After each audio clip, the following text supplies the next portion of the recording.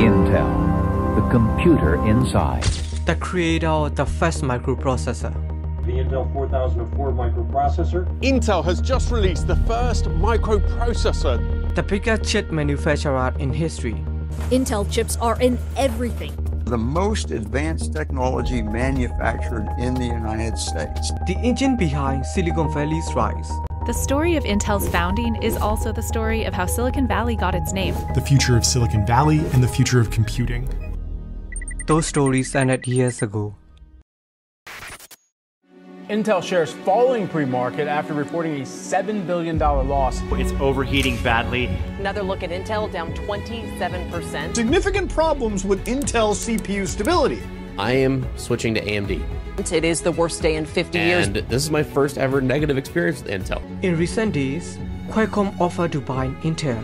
Qualcomm approached Intel about a takeover. This, this would be the biggest deal in the history of the semiconductor. This company had an operating loss of $2 billion. From Apple abandoning their chips Tech company Intel announced this week that it plans to cut 15% of its global workforce, and as many as 3,000 jobs here in Oregon could get axed. Just five years ago, Nvidia was only worth about half of Intel's valuation.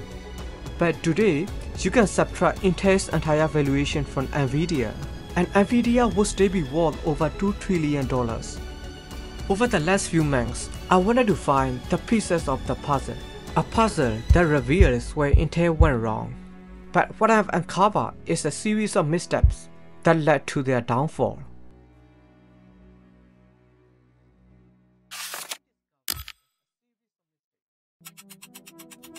To understand the story that's about to unfold, I feel like the Apple event of 2007 is the best place to start.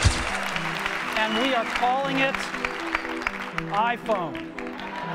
Apple introduced the world to the very first iPhone.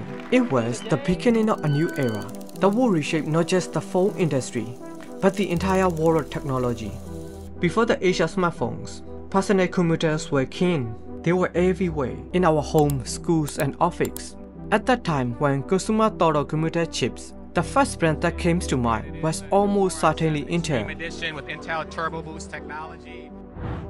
Look at any PC from that time, you likely find an Intel chip inside, specifically x86 processor. The x86 architecture was a major technological breakthrough, offering performance far superior to anything its competitors could offer at the time. And thanks to x86, Intel paid on its success and became the dominant maker of CPUs for personal computers. You can think of the CPU as the brain of your computer. It performs the majority of the processing tasks and instructions that allow the computer to operate. Wintel, which was a popular term at that time, described the partnership between Microsoft and Intel. It basically refers to computers that run Windows on an Intel processor. It shows the dominance of two tech giants over PC market as Windows power Intel chips became standard in computing. There is this observation called Moore's Law, which is a prediction made by Intel co-founder Gordon Moore. The idea was simple.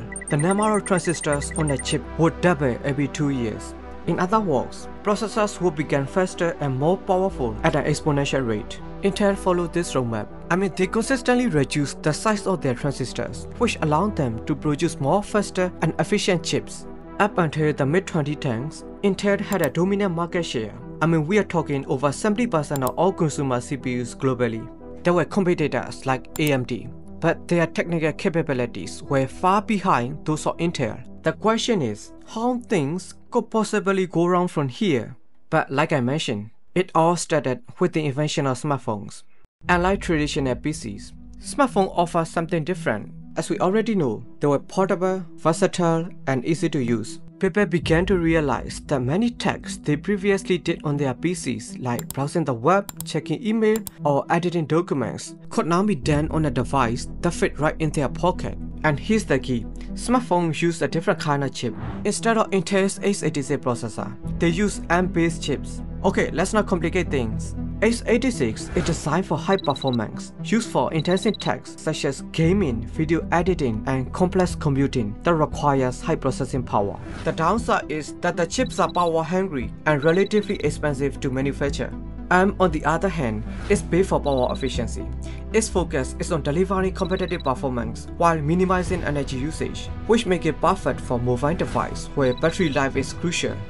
ARM chips achieve this balance, which is why they became the standard for smartphones. This is where Intel made a critical mistake. They underestimated the smartphone market. They thought it would never be as profitable as the PC market. So they decided that it wasn't worth the investment to design a completely new architecture specifically for mobile phones. While Intel was sleeping on the job, the smartphone market exploded.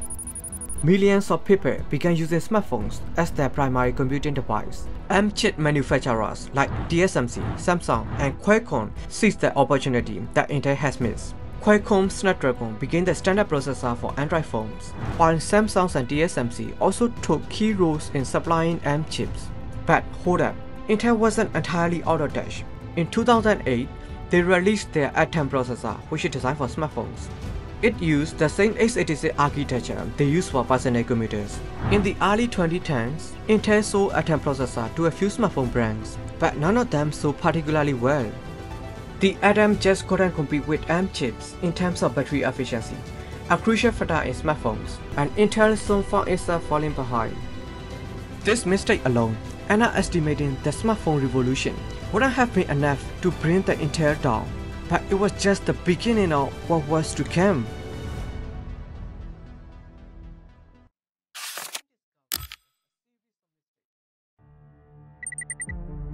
In 1993, in a small office in Fremont, California, a company was founded, NVIDIA.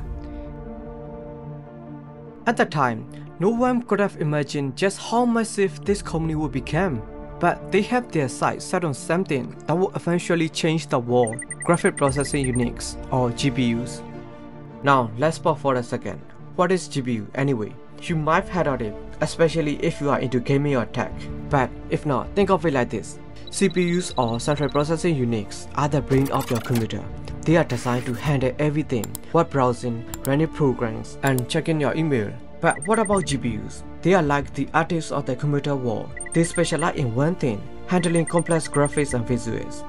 And they do it by breaking the text down into lots of smaller pieces and processing them all at once. This is called parallel processing. It's what made them perfect for rendering the detailed graphics in video games. But here's the thing, GPUs weren't exactly a household necessity back in the days. Sure, gamers needed them to push the boundaries of graphics, but for most people, Intel's integrated graphics solutions were enough. Integrated graphics are the type of GPU that's built directly into the CPU, sharing the computer's main memory to save space and reduce costs while covering basic graphic needs. So for Intel, this approach makes sense. They figure out why invest heavily in GPU when their bread and butter CPUs were still dominating the market. And for a while, they weren't wrong.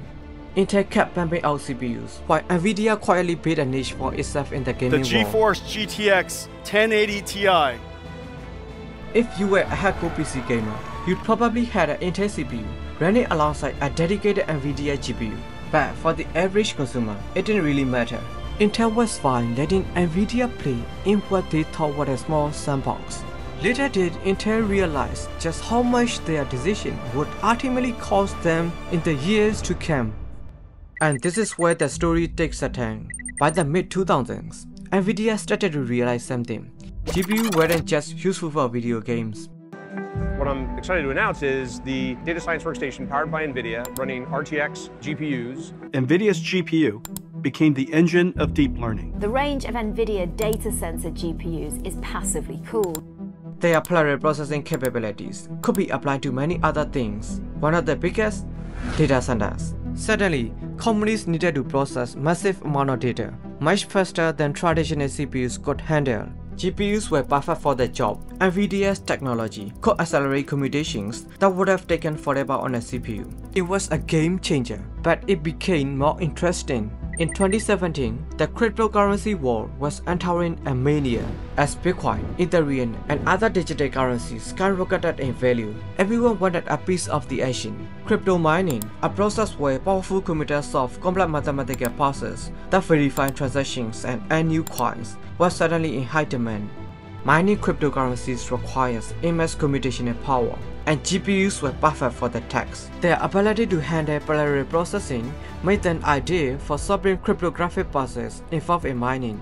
Suddenly, there was a scramble. Gamers and crypto miners were competing to get their hands on the same Nvidia cards, and prices were soaring. Gamers were furious, miners were cashing in, and Nvidia, well, they were breaking in their profits. But hold on, the story doesn't end there. As the crypto boom was happening, another revolution was just getting started. Artificial intelligence. AI is the most advanced and the most widely used AI platform in the world now. And once again, NVIDIA was right at the center of it. You see, AI requires an insane amount of computing power, especially for tasks like training deep learning models. Think about image recognition, self-driving cars, and natural language processing. And guess what? GPUs were perfect for this too. NVIDIA didn't miss a beat. They pivoted from gaming to data centers, from data centers to crypto mining, and now they were at the forefront of AI. But while Nvidia was out there shaping the future, Intel, they were still stuck playing catch-up. Sure, they eventually realized the importance of GPUs, trying to develop their own chips for AI and graphics. But by the time they got serious, Nvidia had already solidified its place as the king of GPU war.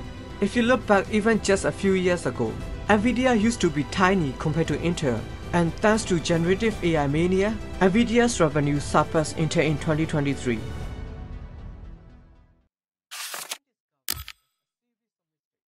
Even as Intel struggled to break into the mobile and GPU markets, something else was happening.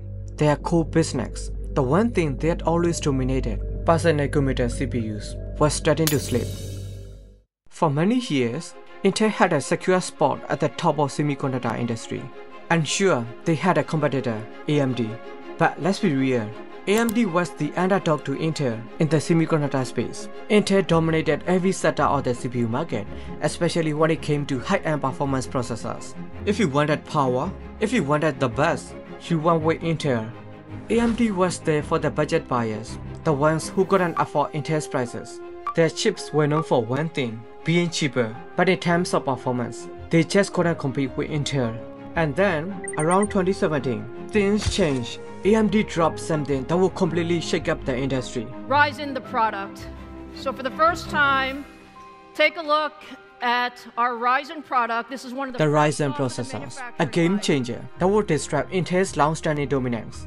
They were built on AMD's innovative Zen architecture, a total redesign from anything AMD had done before. Okay, let's break this down. Zen architecture. What's the big deal?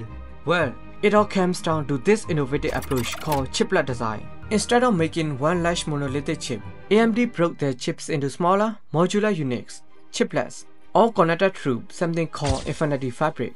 The beauty of this design, it cut down manufacturing costs while boosting performance. AMD could suddenly deliver high-end CPUs at a much lower cost than Intel.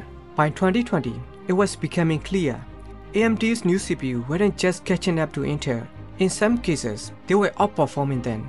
The whole narrative of you only buy AMD if you can't afford Intel was flipping on its head. Even hardcore gamers were starting to I choose am AMD. switching to AMD. To be clear, Intel is still far larger than AMD, but the gap is closing fast. In 2019, AMD's revenue was less than 10% of Intel's. By 2023, it was over 40%, and it's only going up from there. So, how did AMD manage to close that gap so quickly? One of the reasons is outsourcing.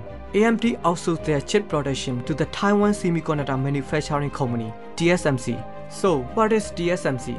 They are a contract manufacturer, meaning they can focus all of their efforts on one thing, making chips. Meanwhile, AMD focuses all of their efforts on one thing, designing those chips. Intel, on the other hand, is still making its own chips in-house. They operate their own fabs, the factories where chips are made. And in the past, there was a huge advantage. Intel was a world leader in semiconductor manufacturing, but now not so much. While Intel was trying to handle for designing and manufacturing their chips, AMD has been able to overtake them on design, while contract manufacturers TSMC and Samsung have overtaken them in manufacturing.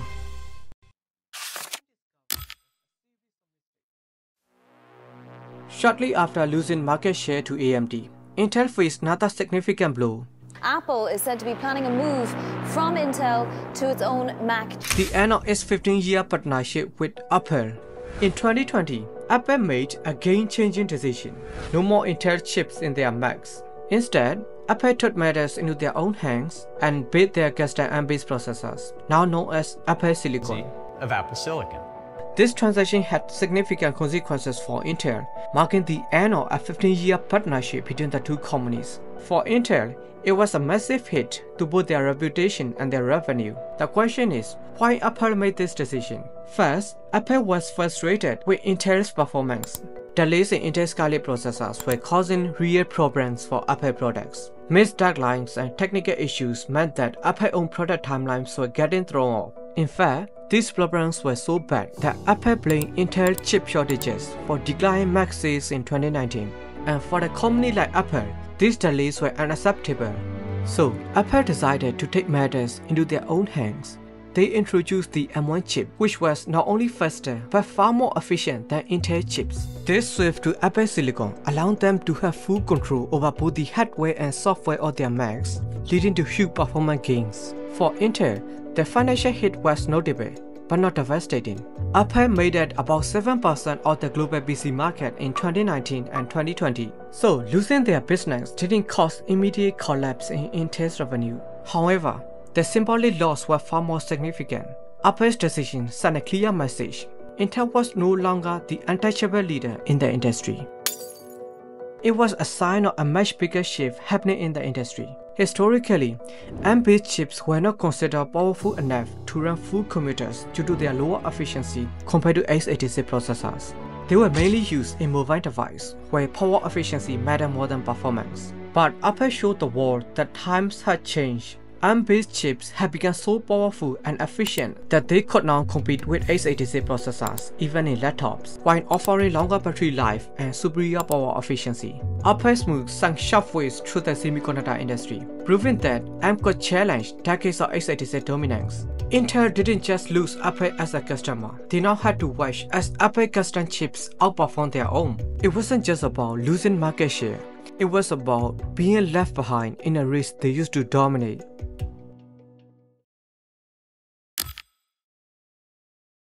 The world is moving fast and even the most established companies can be left behind if they don't evolve. Nokia was the leader in mobile phones, dominated the industry throughout the 1990s and early 2000s. But by the late 2000s, as smartphone took over, Nokia couldn't keep up with the rapid pace of change, leading to its downfall. Then there's Blockbuster, the giant of video rental business. In the early 2000s, a streaming service emerged. Blockbuster struggled to adapt and by 2010, the company had filed for bankruptcy, unable to compete in the new digital landscape. What did these giants have in common? One fatal flaw, a lack of innovation.